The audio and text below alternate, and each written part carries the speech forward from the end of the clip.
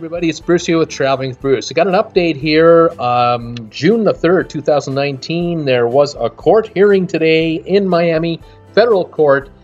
Uh, Carnival Corporation was brought in front of the federal judge, and the company pleaded guilty to violating its uh, agreement regarding uh, cleaning up its act. Uh, they had to pay an additional $20 million in fines and agreed to a number of conditions going forward on their probation.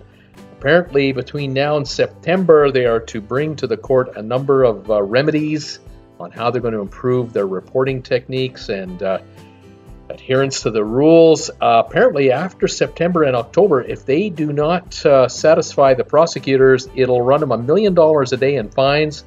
After November, the fines increase to $10 million a day. So the court is being quite uh, strict about this. We'll have to see how this plays out. Uh, the trial uh, did take about three, four hours today, and the company has promised that they will be uh, much stricter on uh, dumping and all that sort of thing. They shouldn't be doing it.